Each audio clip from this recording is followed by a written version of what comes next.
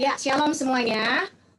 Ya, nama saya Maria Delisma. Uh, Tuhan mempercayakan saya untuk menyampaikan kabar baik ya, semua uh, kabar gembira dari Tuhan melalui PDKK Golgota yang Tuhan mengutus saya melalui PDKK Golgota sehingga saya bisa saat ini berhadapan dengan kalian semua, teman-teman mudaku ya. Kita masih beda berapa tahun ya. Untung saya belum di atas 40 ya. Kalau udah atas 40 saya udah nggak sebaya lagi dengan kalian ya. Oke, okay uh, saya disuruh bawain uh, uh, Trucks the Wildness. Itu jadi melalui padang gurun ya, tapi gambarnya hijau. Jadi tapi gambarnya ada rumput, katanya kan padang gurun ya. Tapi kok gambarnya banyak pohonan, Uh, terus uh, saya agak terinspirasi dengan gambar yang di sini mungkin yang bikin flyernya juga nggak sengaja atau bagaimana saya juga nggak tahu ya. Jadi di sini saya bilang uh, melalui dari flyer aja saya pikirkan kenapa sih kok gambarnya kayak gini kok saya langsung terinspirasi ya. Iya. Jadi kita melalui padang gurun itu semua tergantung kita melihat gambar ini. Kita mau ngelihat uh, gambar yang penuh dengan rerumputan yang hijau. Kalau saya lebih memilih melihat dan fokus kepada gambar karena saya orangnya sanguin ya. Sanguin dan saya uh, lebih ke visual. Jadi saya akan melihat gambar daripada tulisan. Nah puji nama Tuhan saya agak visual. Jadi saya lebih suka melihat gambar dan saya akan melupakan itu padang gurun. Saya akan lebih fokus kepada yang namanya hidup saya penuh dengan uh, kehidupan yang hijau-hijau yang indah-indah ya saya lebih fokus kepada berkat yang ada daripada padang gurun yang kelihatannya gersang ya, menyulitkan, uh, terus begitu bikin kita kayaknya, aduh kok hidup kayak begini banget ya, apalagi masa pandemik kayak gini ya. Oke, okay. uh, teman-teman saya saya mulainya 15.40 ya, telat 10 menit ya. Jadi saya berarti sampai uh, jam berapa nih? Sampai 16 16.15 ya? 16.15 ya? Oke.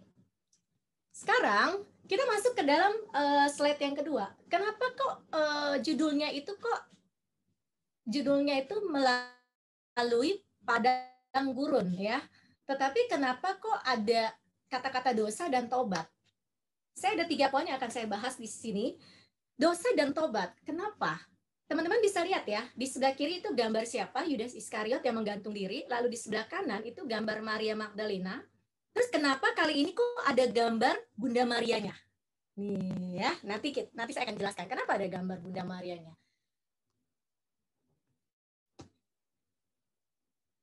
Oke, nah apa yang disebut dengan dosa? Dosa. Dosa itu sekarang Bapak pendusta itu bilang buatlah dosa, ya. Dia bilang dia akan bilang buatlah dosa, ya. Lalu sesudah berbuat dosa, sesudah kita semua anak-anak Tuhan ini berbuat dosa nih ya. Oh ya udah gitu ya, kita ngikutin ini, buatlah dosa. Nggak apa-apa kok gitu ya. Nah, di sini lalu sesudah kita berbuat dosa, sesudah Yudas Iskariot berbuat dosa, apa yang dilakukan? Dia membuang uang itu dan dia kembalikan kepada para penatua-penatua, lalu dia kembalikan, lalu para penatua-penatua itu ngomong apa sama dia? Jawaban dia apa?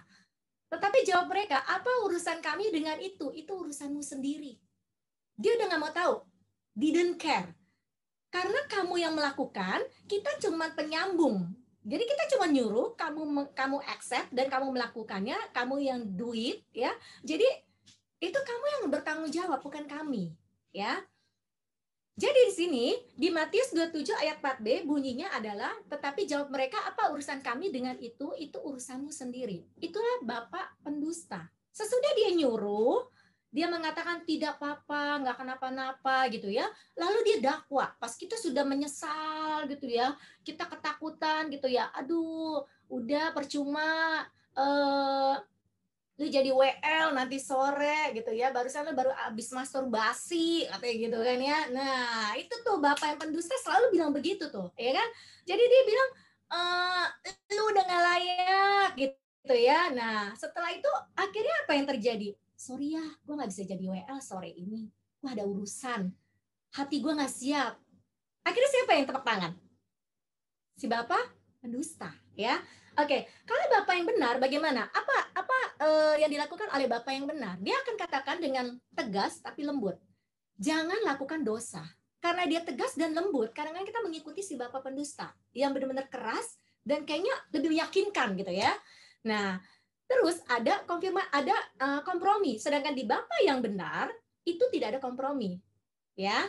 Nah, lalu tetapi pada skala Bapak yang benar, walaupun kita melakukan dosa itu, teman-teman, lalu kita kembali kepada Allah dan kita ber, kita meminta ampun kepada Dia, apa yang dikatakan Yesus kepada kita?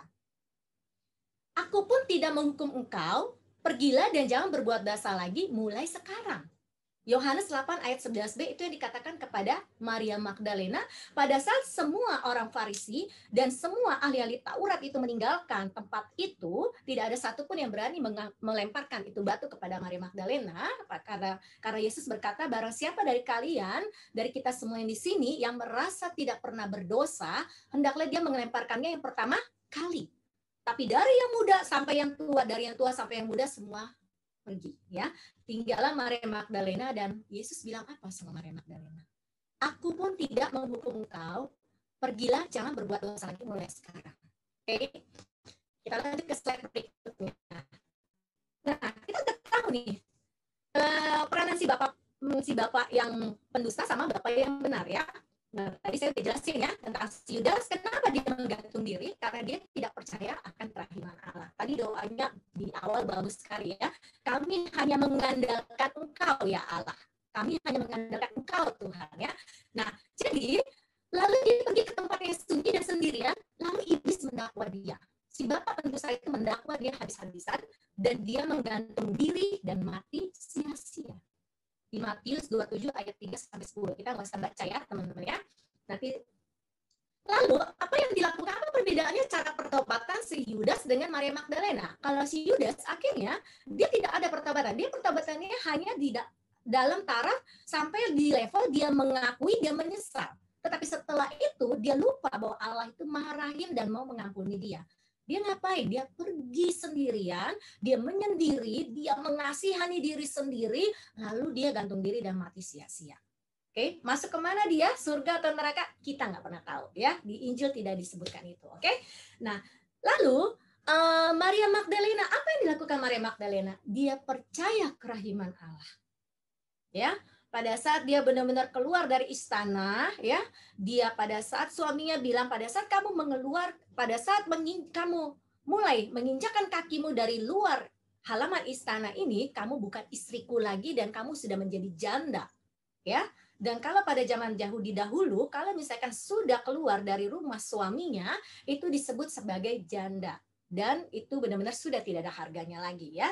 Seperti gundik ya Nah, jadi di sini, tetapi Maria Magdalena akhirnya buka pada saat dia keluar, dia tidak terima pada saat dia men, uh, pada saat dia melihat kok kenapa Yesus, kenapa kok Yohanes Pembaptis akan dipenggal kepalanya. Dia sedih gitu ya. Perjanjiannya kan tidak seperti itu ya. Akhirnya dia keluar, lalu dia pergi mengintip setelah dia melakukan keberdosaannya di uh, di tempat prostitut, tempat pelacuran, lalu dia diambil ya, diambil oleh salah seorang ahli Taurat lalu diserahkan kepada Yesus. Nah, yang dilakukan Yesus apa yang tadi di slide sebelumnya. Tetapi setelah itu Maria Magdalena tidak berhenti dan mengasihani diri terus-menerus. Ya, dia dapat rahmat dari Yesus, lalu dia memiliki kemampuan untuk pergi dan sering mengintip Bunda Maria. Makanya saya tuh saya tak saya taruh gambar Bunda Maria di sampingnya ya. Lalu dia pada saat dia suka mengintip ya kalau teman-teman nonton The Passion of Christ ya itu benar-benar lengkap banget saya suka banget ya nonton The Passion of Christ ya ya Mel Gibson. Lalu dia meminta didoakan sehingga dia menjadi pengikut Yesus sampai mati di kayu salib teman-teman ya. Bahkan akhirnya dia menjadi saksi pertama kebangkitan Yesus menurut Injil ya. Dia yang benar-benar sangat uh, curious banget gitu ya penasaran banget gitu ya untuk benar-benar pergi pagi-pagi sekali ya lalu dia melihat benar Yesus bangkit ya di di Yohanes 20 ayat 11 sampai 18. Oke, cara berdoa eh cara bertobat udah ada dua perbedaan dan kita harus mengikuti cara bertobatnya Maria Magdalena. Amin. Ya. Oke. Nah, apa sih? Pertama, apa yang dilakukan Maria Magdalena? Mengakui kelemahan dan dosanya. Ya, dia mengakui kelemahan dan dosanya, lalu dia mengakui kebutuhan akan belas kasihan Yesus saat itu juga bukan membela tindakan-tindakannya sambil membuktikan bahwa dia benar karena suami saya karena saya ditipu oleh si uh, siapa? Si istrinya si saya lupa istrinya si siapa yang membunuh? Herodes siapa yang membunuh si uh, Yohanes Pembaptis ya. Nah, jadi setelah itu saya kecewa, saya ditipu, saya kecewa Yohanes Pembaptis harus dipenggal ya. Lalu saya memutuskan untuk uh, membebaskan Yohanes Pembaptis. Tidak boleh oleh suami saya dan suami saya mengatakan kalau kamu keluar dari uh, istana ini kamu sudah bukan istri saya lagi dan kamu sudah menjadi janda ya. Di situ saya kan jadinya kan uh, apa sih patah hati. Saya jadi nggak ada harapan. Makanya saya melacur. Tidak dia tidak berkata seperti itu tapi dia benar-benar mengakui kesalahannya, dia mengakui kelemahannya. Yang terpenting adalah mengakui kelemahannya. Banyak dari kita, kadang-kadang pada saat kita mengakui kesalahan kita, kita lupa mengakui kelemahan kita. Tapi kan pastor, tapi kan pastor banyak ya. Ini kalau sharing dari pastor kebetulan saya kebanyakan dekat ya sama pastor MSD kadang-kadang kalau bercerita ya. Iya, ada seorang ibu, dia tidak menceritakan dosanya ya, mohon maaf ya, tidak menceritakan dosanya. Setiap kali kalau orang mengaku dosa, kadang-kadang ada tapi-tapinya ya. Kalau misalkan pastor yang menceritakan dosanya, dia berdosa ya. Tidak, dia tidak menceritakan dosa bapak atau ibu itu, tetapi dia bilang sometimes ada orang-orang yang kadang-kadang terbiasa membela diri tanpa dia sadari sudah di hadapan Allah yang di dalam rupa seorang imam saja dia masih terbiasa membela diri tindakannya yang salah itu ya tanpa disadari karena itu sudah benar-benar sudah mendarah daging ya. Nah, di situ kita harus menyadari sesudah, sesudah menyadarinya kita harus mengakui kelemahan kita ya. Nah, memiliki kerendahan hati dan rela mengaku salah, mau mengakui membutuhkan pertolongan dan doa bimbingan dari pembimbing rohani ya carilah pembimbing rohani. Lalu bersedia mau diamp bersedia mau diampuni kalau udah bersedia mau diampuni pada saat masuk ruang pengakuan dosa kita juga sesudah keluar kita harus bersedia mengampuni orang yang berdosa sama kita ya. Sekaligus berbuat kasih setelah itu yaitu seperti sili atau denda dosa ya. Oke. Nah sekarang tadi kan kita masuk di poin pertama kita sudah tahu yang namanya dosa, yang namanya cara bertobatnya ya.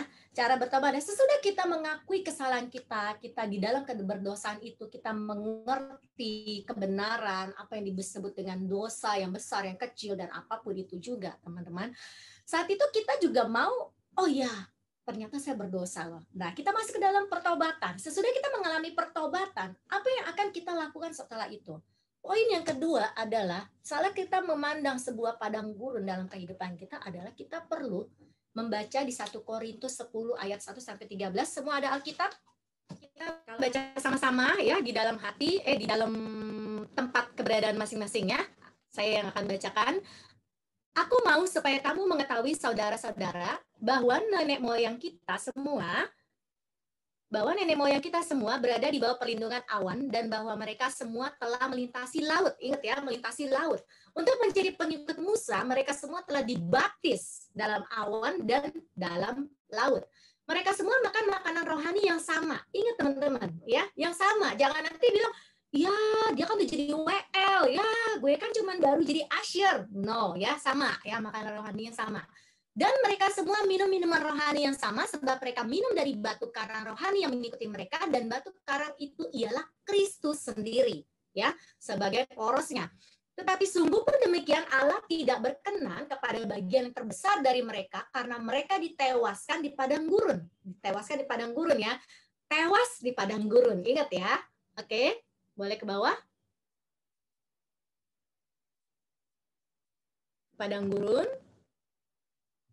Lalu semuanya ini, oke okay, tolong ya. Semuanya ini telah terjadi sebagai contoh bagi kita untuk memperingatkan kita supaya jangan kita menginginkan hal-hal yang jahat seperti yang telah mereka perbuat ya. Ini peringatan untuk bangsa Israel. Dan supaya jangan kita menjadi penyembah-penyembah berhala sama seperti beberapa orang dari mereka seperti ada tertulis. Maka duduklah bangsa itu untuk makan dan minum, kemudian bangunlah mereka dan bersukaria. Boleh turun ke bawah? Janganlah kita melakukan percabulan seperti yang dilakukan oleh beberapa orang dari mereka sehingga pada satu hari telah tewas 23 ribu orang dan janganlah kita mencobai Tuhan seperti yang dilakukan oleh beberapa orang dari mereka sehingga mereka mati di pagut ular. Dan janganlah bersungut-sungut dan janganlah bersungut-sungut seperti yang dilakukan oleh beberapa orang dari mereka sehingga mereka dibinasakan oleh malaikat maut, ya. Lalu langsung aja sampai 13 kayaknya. Semuanya ini telah menimpa mereka sebagai contoh dan dituliskan untuk menjadi peringatan bagi kita yang hidup pada waktu di zaman akhir telah tiba. Di mana zaman akhir telah tiba ya, nanti ada kaitannya. Sebab itu siapa yang menyangka bahwa ia teguh berdiri, hati-hatilah jangan ia jatuh. Tanda seru. Nah, sekarang kita masuk ke ayat 13-nya. Oke. Nah, Pencobaan-pencobaan yang kamu alami ialah pencobaan-pencobaan biasa yang tidak melebihi kekuatan manusia sebab Allah setia dan karena itu ia telah membiarkan kamu dicobai melampaui kekuatanmu. Pada waktu kamu dicobai ia akan memberikan kepadamu jalan ke luar. Nggak disambung ya.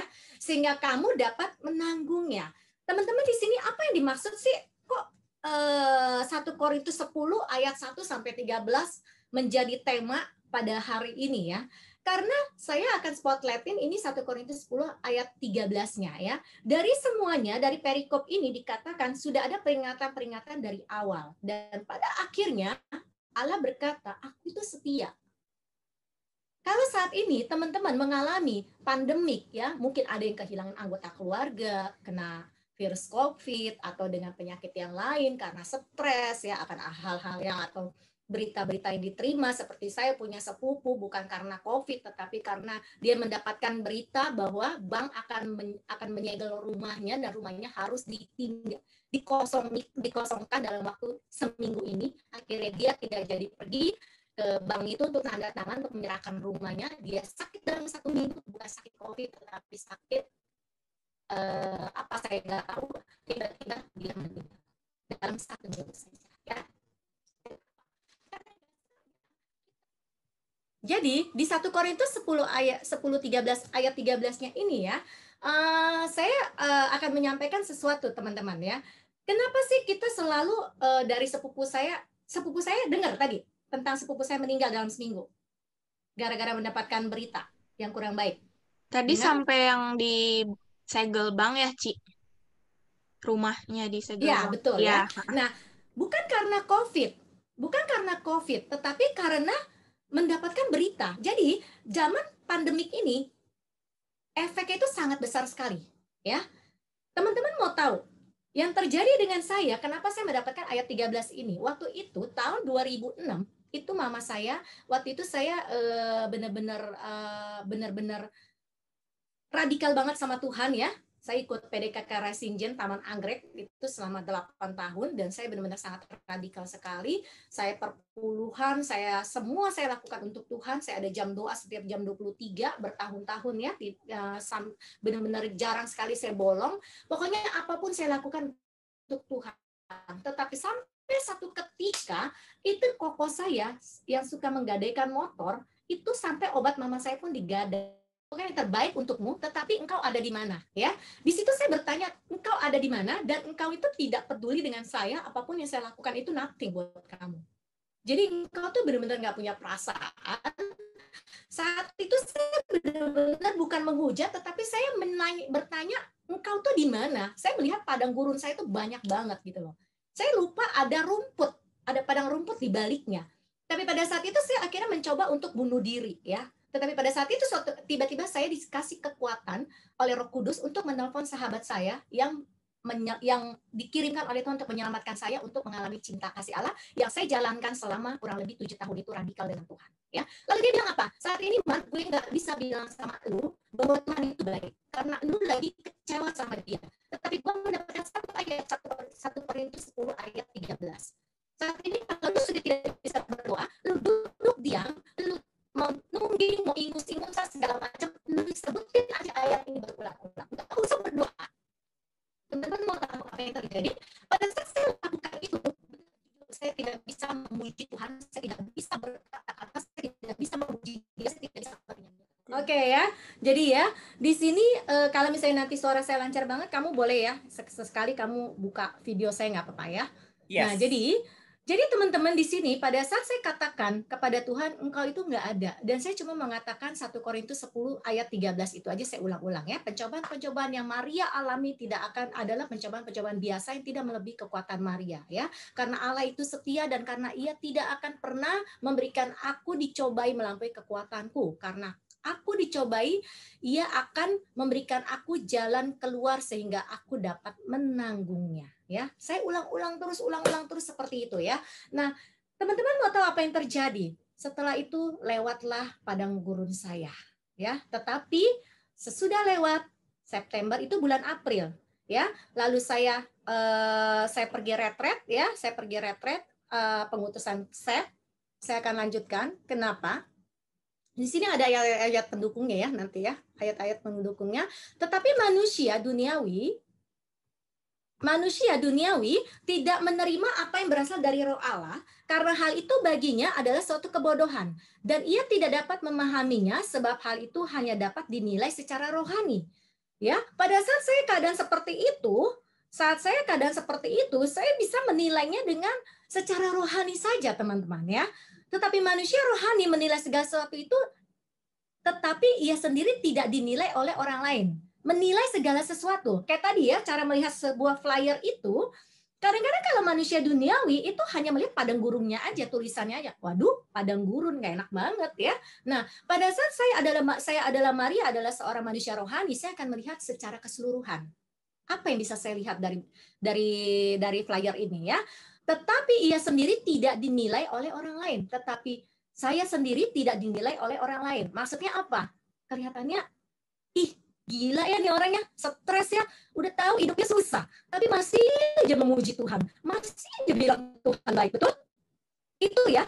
Itu konsekuensi sebagai anak Tuhan ya. Tetapi kita bukan bermuka dua tetapi apa yang kita rasakan benar-benar karena kita tahu sekarang kita masuk di uh, bulan April. Saya ada uh, di bulan April saya ada retret ya. Pada saat itu saya itu mengalami benar-benar oh iya uh, saya masih mengalami benar-benar Tuhan itu nggak ada ya. Tuhan itu benar-benar uh, pokoknya pokoknya Tuhan itu benar-benar uh, jadi saya bilang Tuhan tuh benar-benar nggak ada gitu. Tapi pada saat retret itu, pada saat ada uh, pengutusan saat itu, saat pengutusan terjadi, saya melihat ada gambar kerahiman ilahi pada saat uh, pelantikan ya.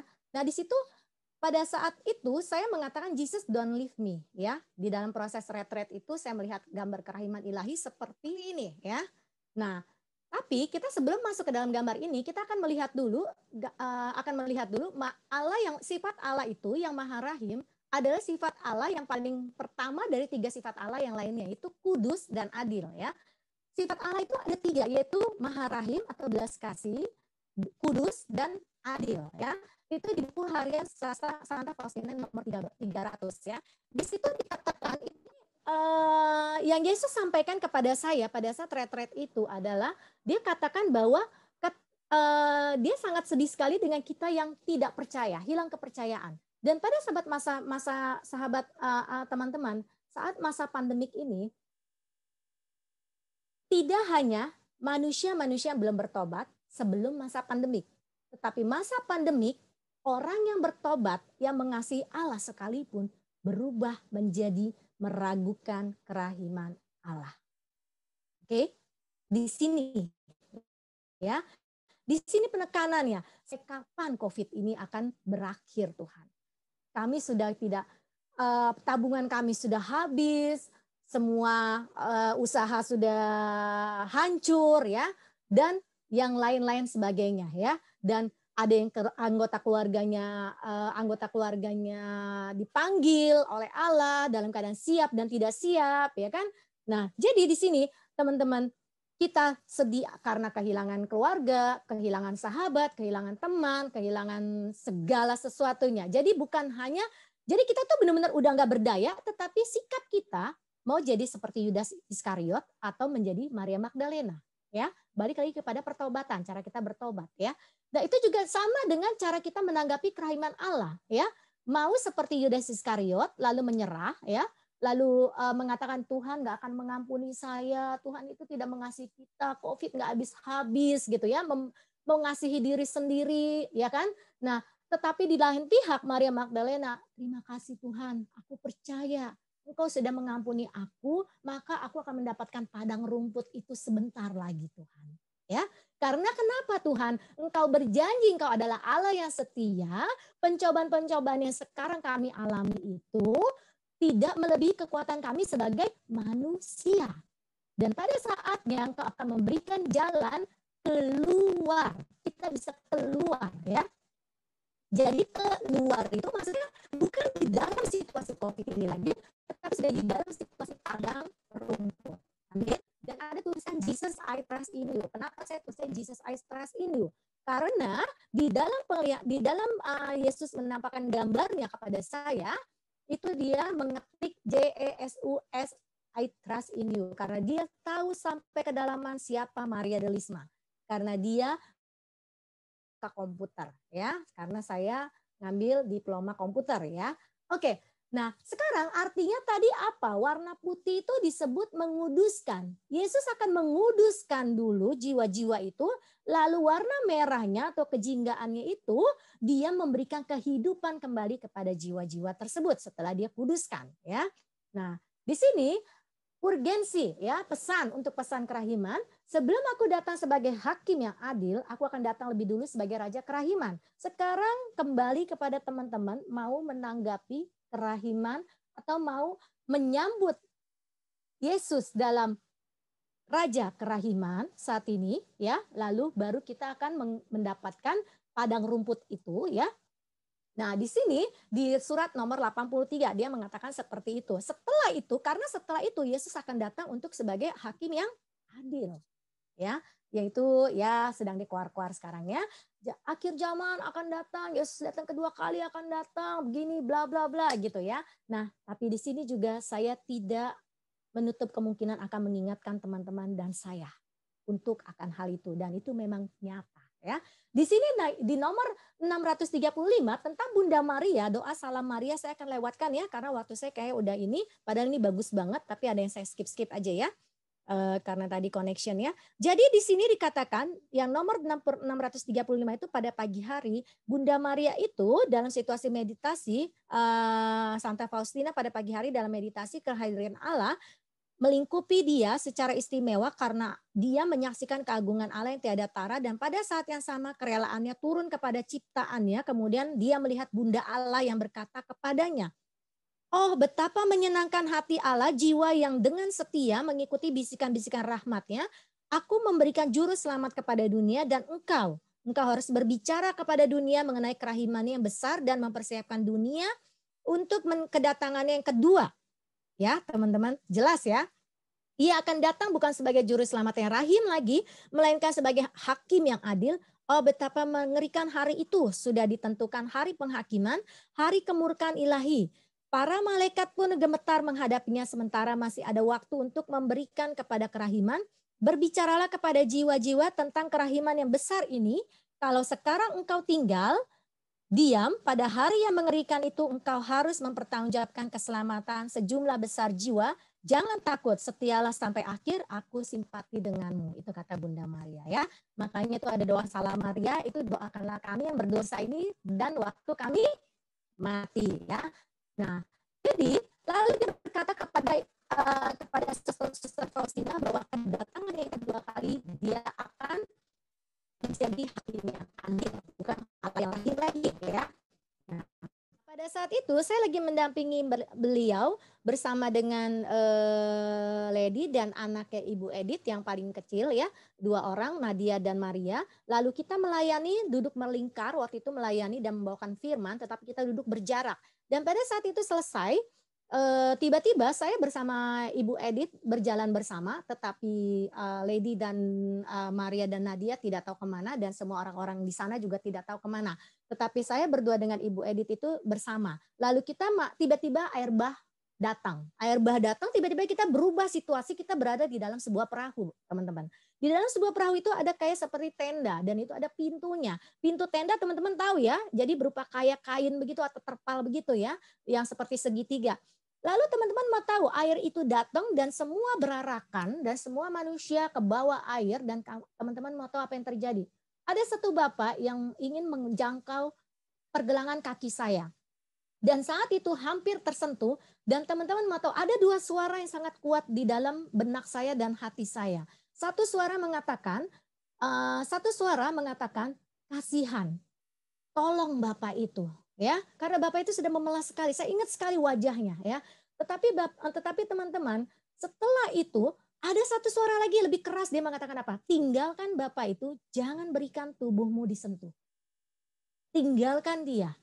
Jangan berikan tubuhmu disentuh. Jangan berikan bagian tubuhmu disentuh olehnya. Saat itu teman-teman ternyata apa? Semua lagi masa COVID, ya. Jadi pada saat itu saya mengikuti Ibu Edit ke kanan, lalu kita melihat ada seperti terpal yang diturunkan ke bawah kapal dan di dalam terpal itu ternyata diturun-turunkan banyak sekali manusia-manusia yang memakai masker, memakai oksigen, mereka bergelimpangan dan sudah menjadi mayat. Dan setelah dari tempat itu mereka akan diceburkan ke laut kembali. Tidak ada ampun teman-teman. Ya. Jadi kita di sini benar-benar Tuhan Bunda Maria mengatakan kepada Santa Faustina, kedatangan Yesus untuk kedua kalinya lagi, ya, untuk kedua kalinya lagi dia benar-benar akan datang. Ya, seperti itu. Jadi teman-teman di sini pada saat dikatakan seperti itu, akhirnya waktu saya Oke okay, ya. Nah, jadi pada saat itu teman-teman saya konfirmasi kepada Ibu Edit kemarin setelah hari kedua baru saya konfirmasi ya. Nah, sesudah saya konfirmasi, dia mengatakan apa? Kamu itu orangnya suka berdoa dan kamu itu orangnya belas kasihnya tinggi ya. Sampai memang saya sering sekali saya mendoakan orang meninggal dan saya didoakan oleh beliau juga lalu dikeluarkan roh itu dari tubuh saya dan tubuh dan roh-roh itu selalu berkata kepada ditanya oleh dia satu ketika dia iseng bertanya kepada roh itu kenapa sih kamu suka di tubuh anak ini? Karena anak ini baik dan tulus jadi saya kalau didoain anak ini saya bisa naik iya. Oke saya ikut ibu Edit ke sebelah kanan lalu di situ saya melihat uh, saya melihat ada orang uh, kayak terpal turun ke bawah ya dari kapal itu di situ banyak sekali mayat-mayat bergelimpangan memakai masker, memakai oksigen. Ya, di situ. Jadi, sesudah dari uh, dari terpal itu mereka akan dibuang ke dalam laut. Ya, jadi di situ teman-teman bisa melihat kedatangan Yesus untuk kedua kali itu udah udah nggak ada nggak ada apa ya nggak ada Tuhan tunggu sebentar ya saya benar-benar mengasihimu bla bla bla segala nggak ada lagi jadi saya pun yang benar-benar penuh kasih seperti ini yang diciptakan oleh Allah sendiri ya. Kemuliaan buat nama Tuhan, bukan saya yang baik tetapi Allah yang baik yang tinggal di dalam diri saya ya. Itu pun bisa tega loh sama Bapak itu. Padahal muka Bapak itu sangat penuh minta belas kasihan, teman-teman. Bayangkan. Sampai hari ini pun saya masih terbayang wajahnya ya. Jadi teman-teman akhirnya kita bersepakat kita akan berdoa Teman-teman tahu kan ya, uh, tolong ya nanti Patricia kalau misalnya suara saya memang kurang bagus, Patricia langsung panggil saya ya. Gitu ya. Iya, oke oke, Ci. Jadi uh, thank you Lord. Ya, jadi akhirnya pada saat itu sekarang teman-teman lihat kan banyak sekali orang mengumpulkan dana ya fokus kepada pembagian dana fokus kepada menolong mereka ya. Tetapi teman-teman mau tahu apa yang terjadi? Sometimes juga banyak yang mereka masih nyamperin orang-orang yang kena ya. Lalu fokus kepada itu semua tetapi lupa mendoakan orang-orang yang menghujat Allah pada saat pandemik ini. Belum lagi orang-orang yang sebelum pandemik sudah tidak bertobat, lalu ditambah lagi pandemik yang orangnya yang tadi pada di, merasa diberkati, lalu karena pandemik mereka merasa tidak diberkati, lalu menghujat Allah, teman-teman, mereka tidak bisa menolong diri mereka sendiri. Mereka harus kita tolong dengan apa? Doa seperti pesan Yesus kepada Santa Faustina. Kerahiman itu terbuka besar, terbuka lebar bagi mereka. Tapi lupa mendoakan iya. orang yang tadinya belum bertobat sebelum masa pandemik, bahkan sesudah masa pada saat masa pandemik sekarang berjalan, itu bertambah lagi orang yang menghujat Allah, betul?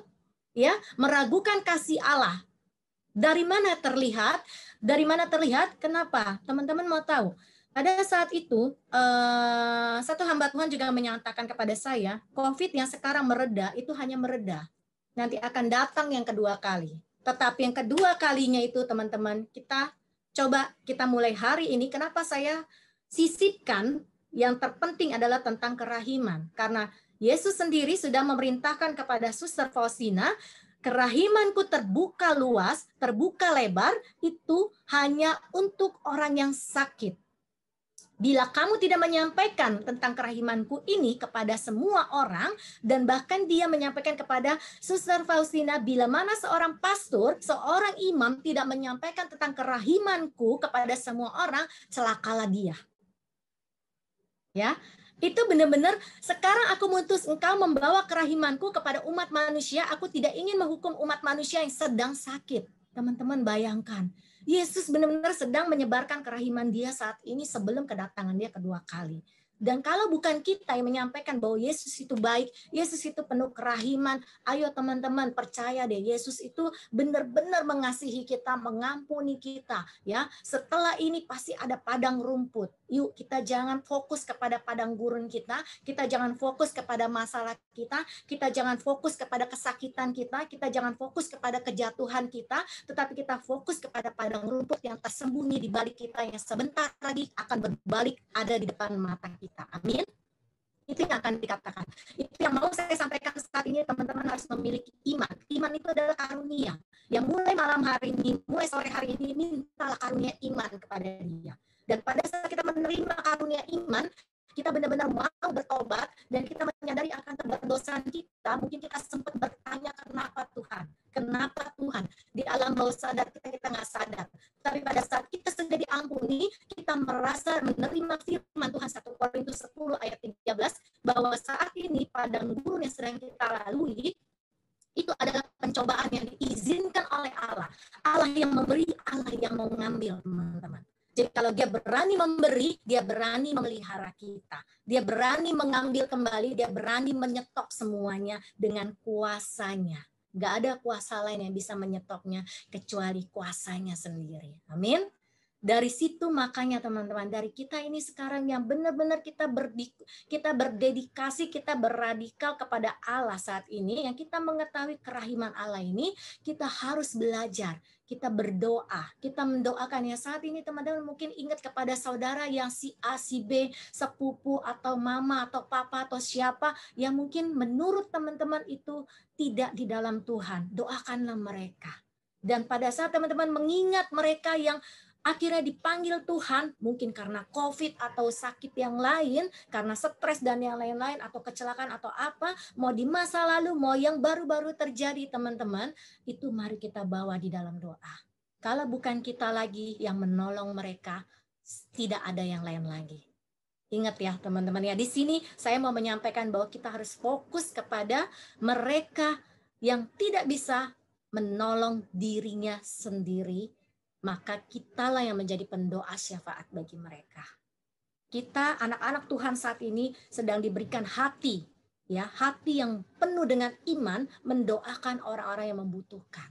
Kalau mereka bukan saya bilang tidak perlu membayar, tidak perlu menolong panti asuhan, triasi apa segala macam, tidak, bukan. Saya baru dapat kabar kemarin di satu grup aja itu itu sumbangannya udah ke, udah overload. Akhirnya mereka mengkip itu sumbangan untuk diberikan mencari tempat-tempat yang membutuhkan. Sampai sebegitunya teman-teman. Itulah kita iman Katolik luar biasa. Tetapi kita lupa mendoakan mereka yang membutuhkan doa kita ya.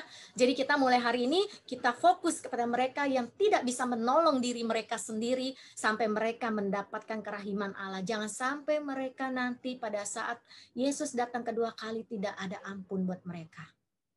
Teman-teman mau tahu Yesus pun berkata kepada Suster Faustina, pada saat kita tidak memberitakan kabar itu ya, kabar kerahiman ini kepada orang-orang yang sudah menghujat Allah ya, pada orang-orang yang menyadari akan kerahiman Allah pun akhirnya lupa dan kita ingatkan kembali, teman-teman mau tahu kita pun mendapatkan hukuman maut dua kali lipat daripada orang yang melakukan uh, melakukan ketidakpercayaan kepada Allah, hilang kepercayaan kepada Allah itu dikatakan kepada Suster Faustina ya.